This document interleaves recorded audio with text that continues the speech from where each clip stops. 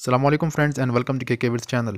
آپ میں سے کئی سارے لوگ جانتے ہوں گے کہ یامہا نے اپنا نیا Yamalube ten W forty grade میں لانچ کیا ہے، جس کی پرفارمنس اور لائف بہتر ہوگی۔ اس سے پہلے والے انجن آئل میں جو کہ ٹوئنٹی ڈبلیو ففٹی گریڈ میں یعنی بیس پچاس گریڈ میں اویلیبل ہے آلریڈی مارکیٹ میں پہلے سے، تو اس سے یہ بہتر ہوگا۔ جو میرے پرانے سبسکرائبر ہیں، شروع سے مجھے فالو کر رہے ہیں، وہ جانتے ہوں گے کہ میں تقریباً دو سال سے یعنی جب میں نے بائک لیا تو اس کے تقریباً فوراً بعد ہی میں نے ten W forty grade use کرنا شروع کر دیا تھا ٹوٹاچی انجن آئل جاپانی انجن آئل اس کی پرفارمنس کافی اچھی ہے۔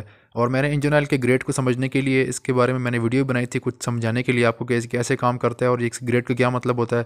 تو اس کے بارے میں نے ویڈیو بنائی تھی اور اس میں میں نے یہ بھی کہا تھا کہ ہمارے ہاں ملک میں چونکہ لوگ زیادہ پے نہیں کر سکتے، اب میجورٹی عوام غریب ہے تو پروڈکٹ چیپ سے یعنی لو کوالٹی کی لانچ کی جاتی ہے کم قیمت میں۔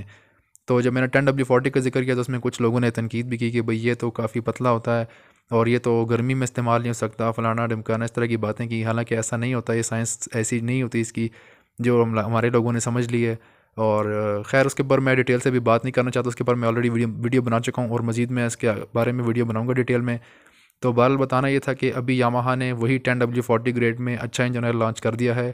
اور ایسا نہیں ہے، کئی سارے لوگ جانتے بھی ہیں اور وہ یوز بھی کر رہے ہیں آلریڈی اپنے بائکس میں ٹین ڈبلیو فورٹی گریڈ کی اور بائکس میں یوز کرتے ہیں، کافی اچھی پرفارمنس ہوتی ہے اس کی۔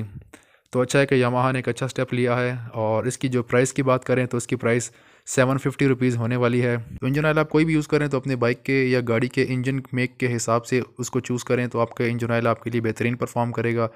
اور انجن آئل ہی آپ کے بائک کی اصل پرفارمنس اور اس کی انجن کی لائف بڑھاتا ہے۔ امید کرتا ہوں میری ویڈیو آپ کو اچھی لگی ہوگی۔